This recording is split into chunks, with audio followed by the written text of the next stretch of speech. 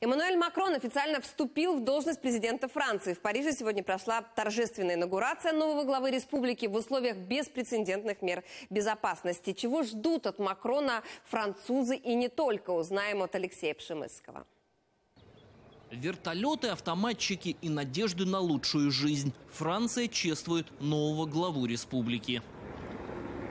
Торжественные мероприятия начались с самого утра. Макрон встретился с Франсуа Оландом. Вместо запланированных 20 минут лидеры общались более часа. Напоследок Оланд передал новому главе республики коды от так называемого ядерного чемодана. После прощания с предшественником Макрон принял орден почетного легиона, принадлежавший еще Наполеону. Мир нуждается в сильной Франции, и у нас есть все для того, чтобы сделать нашу страну великой державой 21 века. Я приложу максимум усилий для этого. Рынок труда будет либерализован, мы намерены поддерживать инициативы бизнеса.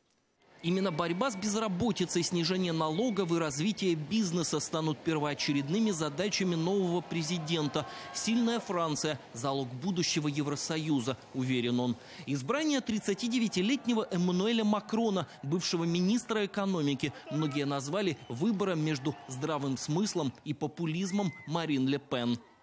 Мы не хотим ультраправых, мы хотим такого, как он. Я рада за Францию, это исторический момент. Его избрание – большое облегчение для всех. Он молод, полон идей, он хочет привнести перемены. Почему бы и нет? Нам всем это нужно.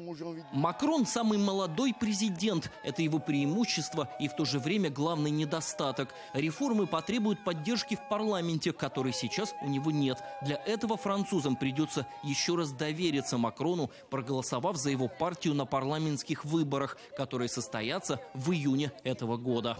Избрание молодого, но полного надежд Макрона многие уже сравнили с сеансом психотерапии для Франции, которая до сих пор живет в режиме чрезвычайного положения, а все больше молодых людей в стране не могут найти работу. Однако, если новому президенту не удастся ответить на главные проблемы – кризис беженцев, терроризм и безработицу, этот сеанс рискует обратиться к глубокой депрессии, которая может стать фатальной для всего Евросоюза. Алексей Пшемыский, Иван Ермаков. Подробности. Европейское бюро телеканала «Интер».